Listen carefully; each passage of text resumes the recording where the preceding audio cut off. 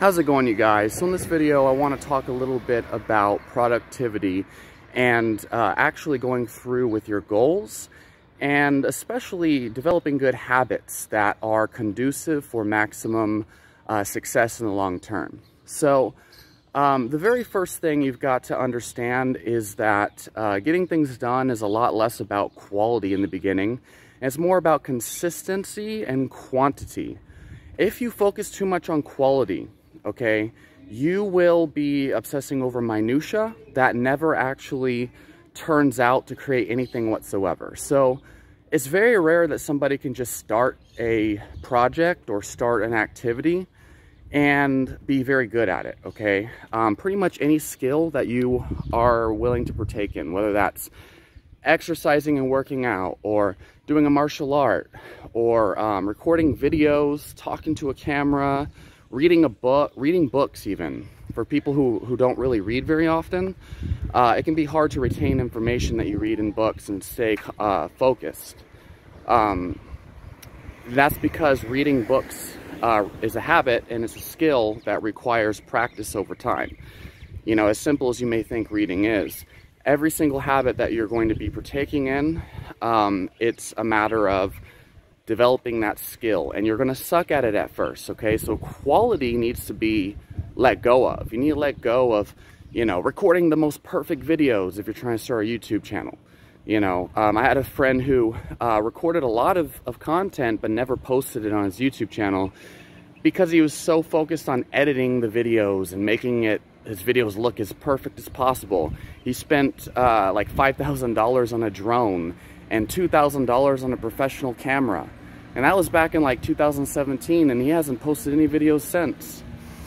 Um, so he was too focused on the quality and I kept telling him, hey man, just start posting videos. You need to make it a habit to post content. Your problem is not quality, it's, it's, it's consistency and getting things done. Now, of course, that was the type of person who would always talk about what he's going to do and never actually do anything. But, uh, and so you definitely don't want to be that person. The antidote is just to do things and not care about how crappy they might be, even when you're posting uh, content on a public platform. The same thing goes for uh, going to the gym or learning a martial art. So um, I think it's most universally relatable to talk about going to the gym.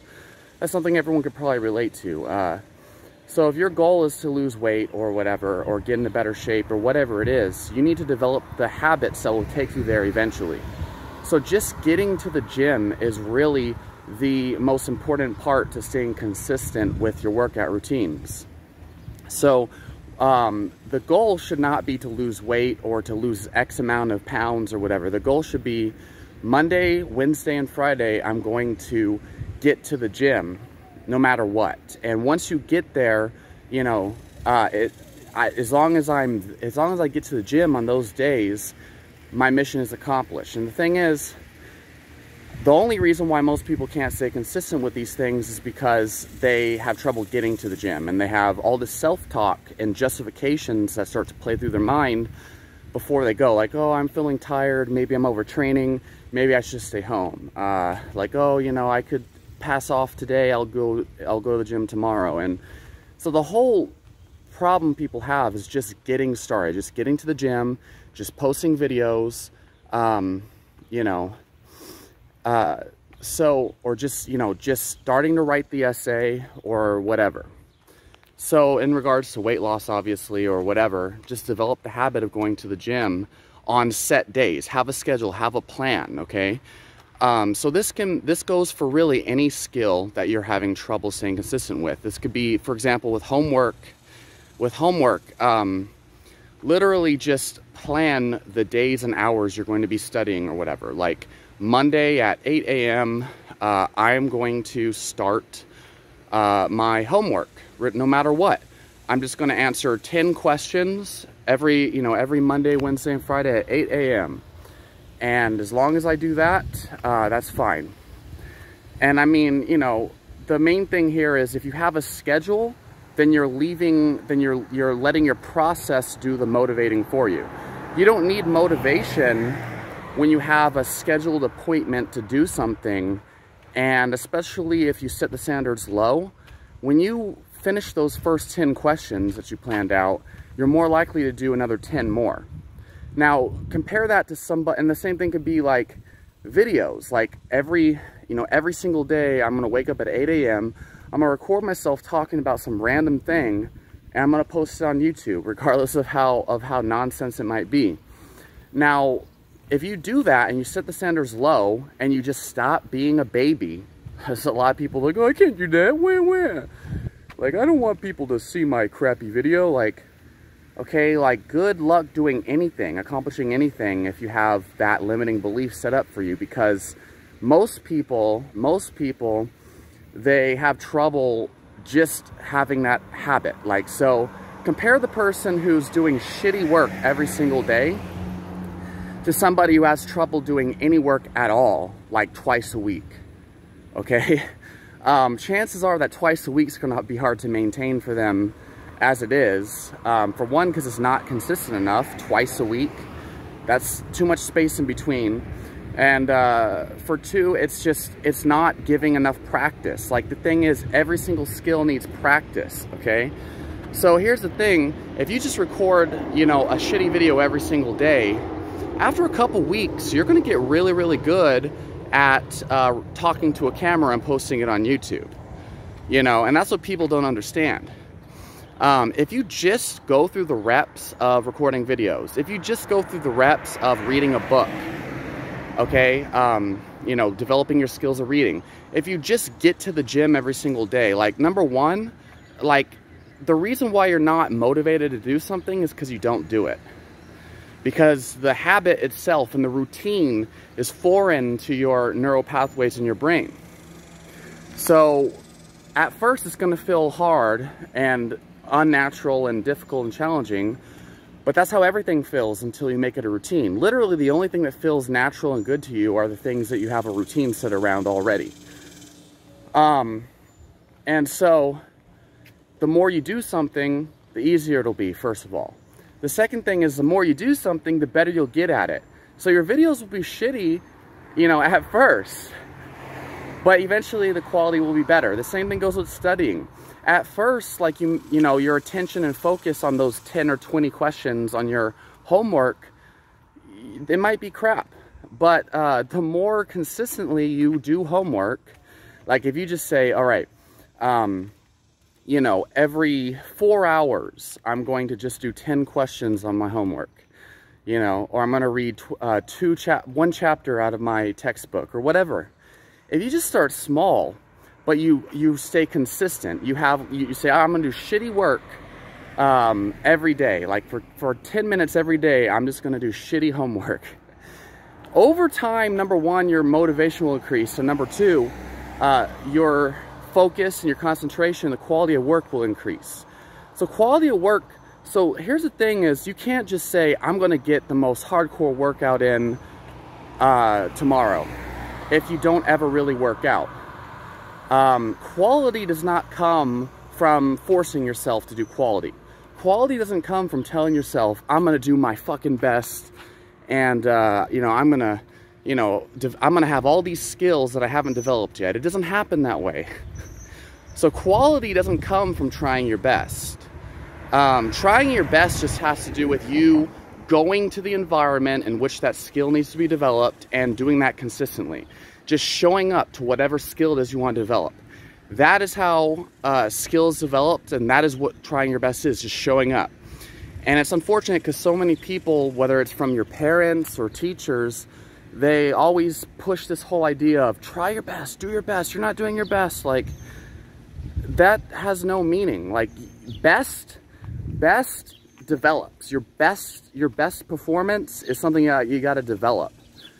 And if there's all this anxiety around, uh, oh, uh, you know, being consistent and blah, blah, blah, and doing my best, like no one's ever going to perform, be able to perform their best if their standards are set really high. Like I've got to complete this, this uh, homework and this test and this exam to the best of my ability in one hour it doesn't work that way. You're, you're not going to be able to do your best performance, you know, when, when you've got such a high anticipation and expectations. You know, um, you know, I want to be like uh, the, the best YouTuber, blah, blah, blah, and I'm going to record this video and it's going to be so uh, detailed and, and on point. Like, for someone who doesn't ever record videos, or, or um, you know, like, yeah, that's going to be pretty hard. Good luck even, like, you know, good luck, good luck, good luck being consistent with that attitude.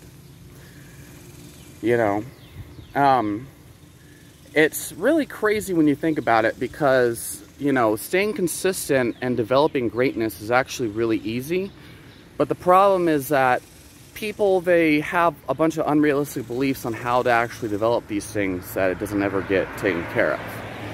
Uh, one thing I've definitely noticed is uh, if you, if you, so the more, the more that you do something, the more frequently you're going to do it. Like, if I start to go to jujitsu practice just like every single day, but I, even if I'm not feeling like it, but I don't really care if I like learn the technique so well or not, like it's important to retain information for sure, but uh, I'll learn just a tiny bit, like just a little, get a little bit better even on my worst days compared to not ever going at all.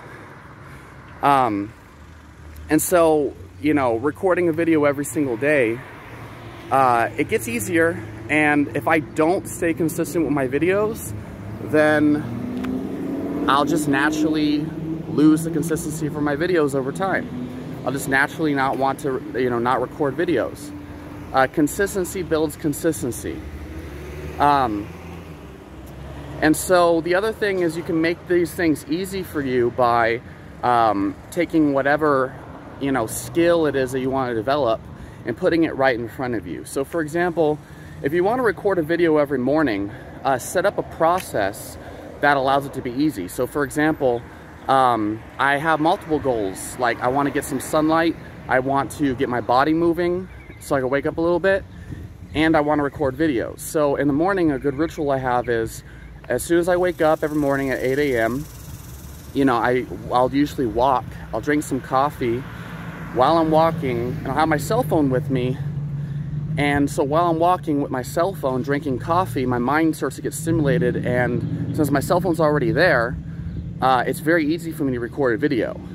But if, on the other hand, I have this expectation that I'm just gonna sit at my computer and I have to have it look professional, and I, and I have all these like stipulations around recording my videos, it's a lot harder to get started. So like if there's a book you wanna read um, that you really wanna learn about, the best thing you can do is keep that book by your bedside every single day so that you're more encouraged to read read that book um, before you go to bed. You just read a chapter, get it done, you know, and if your if your standards are set low, like oh, I just want to read, you know, three pages, you know, reading a little bit before you go to bed, it's so much easier for you to actually get motivated. Motivation has a lot to do with how easy you make things. If if if you say I'm just gonna read three pages a day and I'm good, well then it's easier to stay consistent. Three pages, 10 days equals 30 pages. You know, compared to like, you know, if you, you force yourself to read 30 pages at a time, like that's overwhelming for most people. And I think the quality will be better. Uh, the quality of focus reading three pages a day is gonna be better than reading 30 pages at a time. You're more likely to retain three pages of information a day compared to 30 a day, okay? So, you know, it's a paradox here.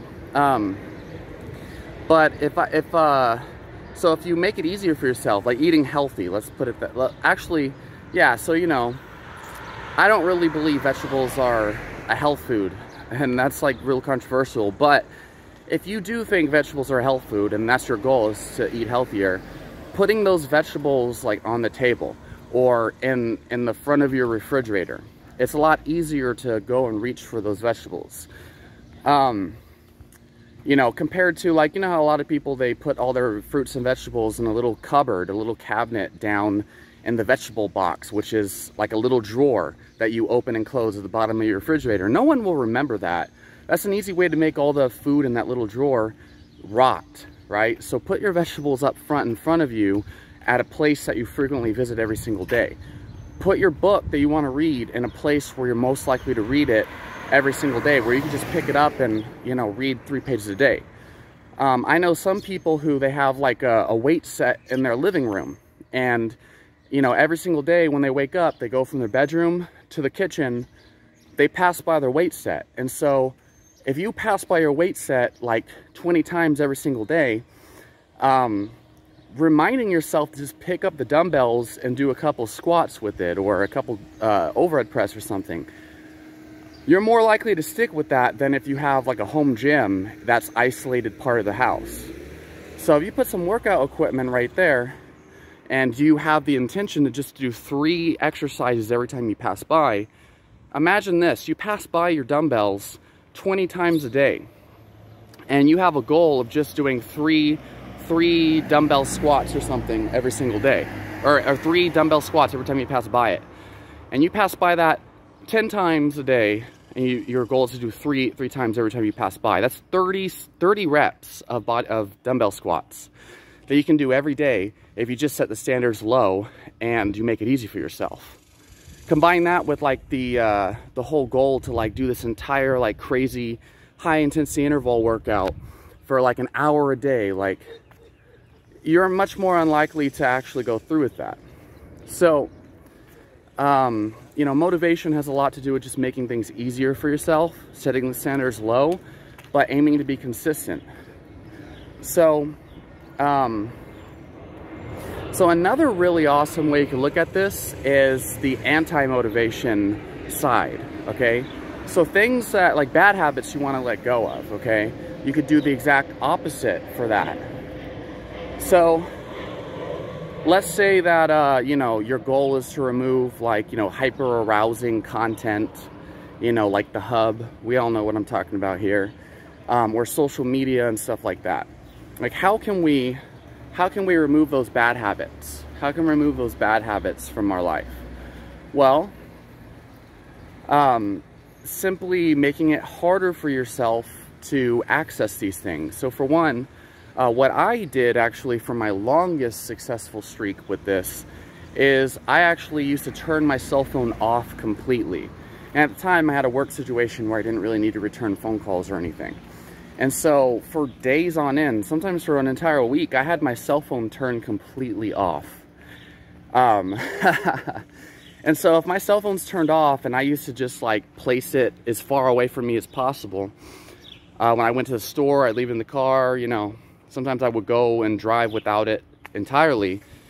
You know, that makes it really hard for me to browse social media. That makes it really hard for me to browse the hub. Um, and it makes it really easy for me to uh, you know, prevent relapse. So if you take whatever negative habit it is that you want to stop and you remove that from your environment on a regular basis, you're unlikely to engage in that habit. Now, of course, it doesn't make things impossible, obviously. For example, someone who's addicted to alcohol and they just don't, you know, buy any alcohol in their house.